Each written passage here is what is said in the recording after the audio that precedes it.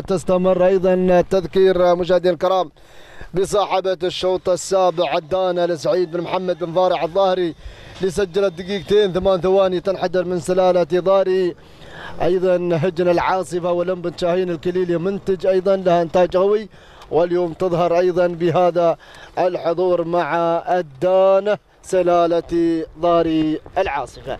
هكذا تستمر مشاهدي الكرام الانطلاقات والتحدي بعد ما تابعنا شوط متعب لسيد سعيد بن محمد سعيد بن هلال بن سالمين. الخيالي نسير مع أول أشواط الصعاب الشوط الرئيسي.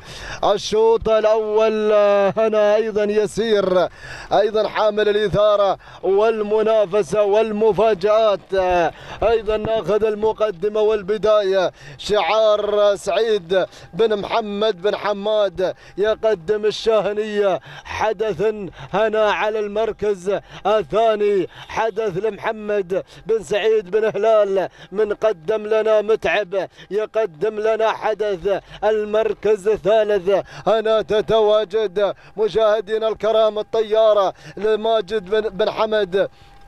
بودرس المنصوري المركز المركز الرابع. شعار أيضا لوهيبي ولكن عودتنا إلى المقدمة إلى حدث حدث يا حدث. تبغي تفعل الحدث بهذه المفاجآت بهذا الحضور المشرف. شعار بوسعيد محمد بن سعيد بن هلال الخيالي ولكن بن حماد بن حماد بو خرايط يتواجد.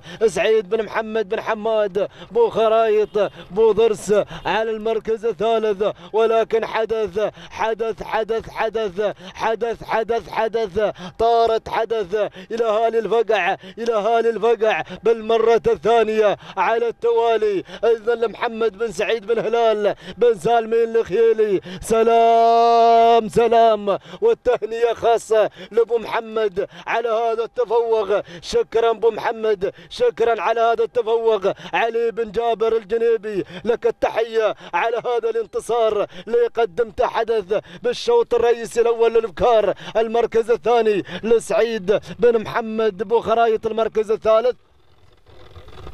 أيضا اللي وصلت فيه مشاهدينا الكرام لسيد سعيد بن محمد بن زيتون أعتقد.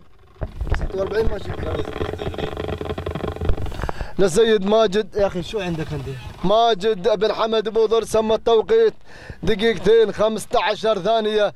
تهانينا والناموس للسيد محمد بن سعيد بن هلال الخيلي على فوز حدث بالشوط الأول الرئيسي للصعود.